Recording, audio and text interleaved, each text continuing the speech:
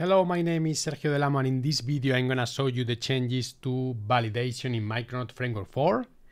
I have here three applications. I have a Micronaut 3.9.3 uh, application. I have a Micronaut 4 application using Gradle and I have a Micronaut 4 application using Maven. Uh, the application that I am showing you here right now is the Micronaut 3 application. Please know that I have the io.micronaut uh, Micronaut validation dependency on my class path. Uh, in this sample application, I have one controller. Uh, I name it newsletter controller. It's returning uh, the HTTP uh, status code 201 if everything goes fine. Is a post request. It's receiving a, JSON uh, object in the body. Uh, and it's using the add valid annotation. Please note that in Micronaut 3 you, we, we are still using the JavaX validation annotations and the subscriber is a Java record, uh, is using the JavaX validation constraints annotation. Again, in Micronaut 3 still we use the JavaX validation annotations. Uh, we are telling uh, that the name is optional and email must be a valid email address. Um, and an important thing is that we annotated this class with that introspected uh, Micronaut validation requires that your classes uh, which need to be validated should be annotated with that introspected. I have a test uh, to show you uh, that this works. So I have a Micronaut test. Uh, this will start the uh, Micronaut application. I am injecting the Micronaut HTTP client into my test. I am getting a blocking HTTP client because typically you don't care about reactive streams in uh, your test, uh, I am sending uh, one request with a valid email address. It's a post request. this map will be serialized into JSON by the HTTP client.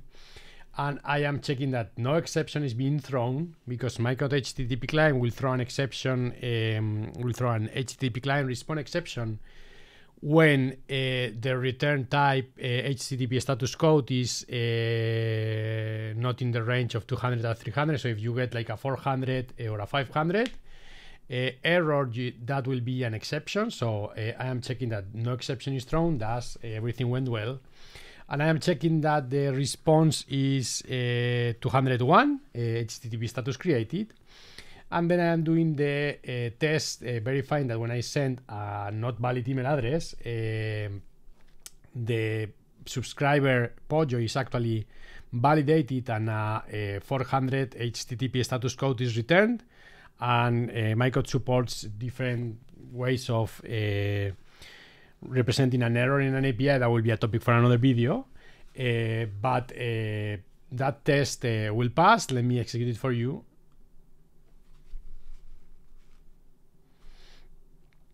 So what are the changes in Micronaut 4?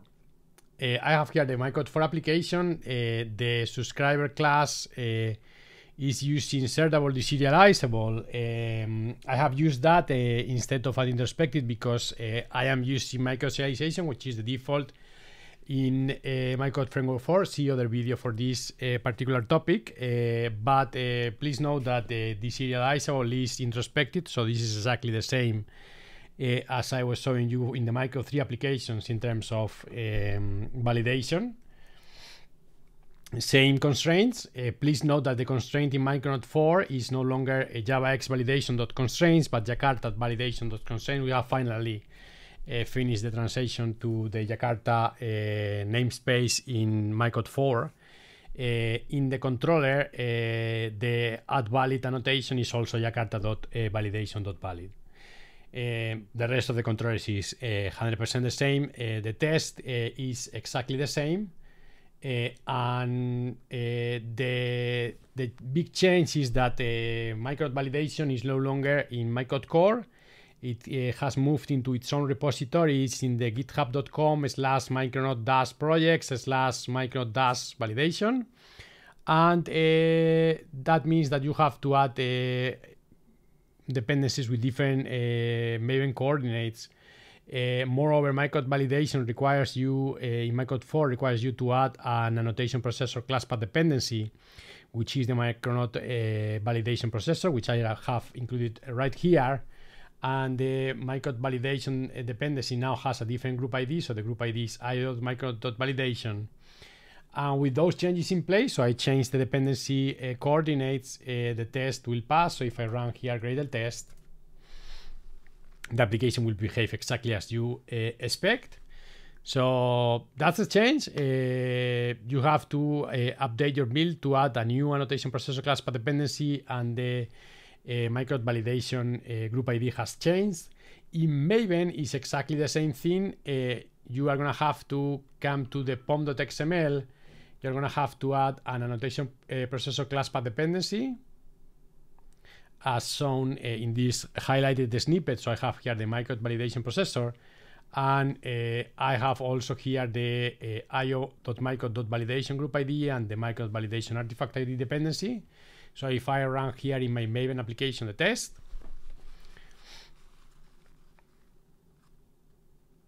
the test will pass. Uh, Micronaut validation uh, is a subset of the Bean validation specification. Uh, I think we will fulfill more of your uh, needs uh, regarding validation, and we have made a big effort in Micronaut 4 to be even more compliant with Bean validation specifications. So I encourage you to give it a try.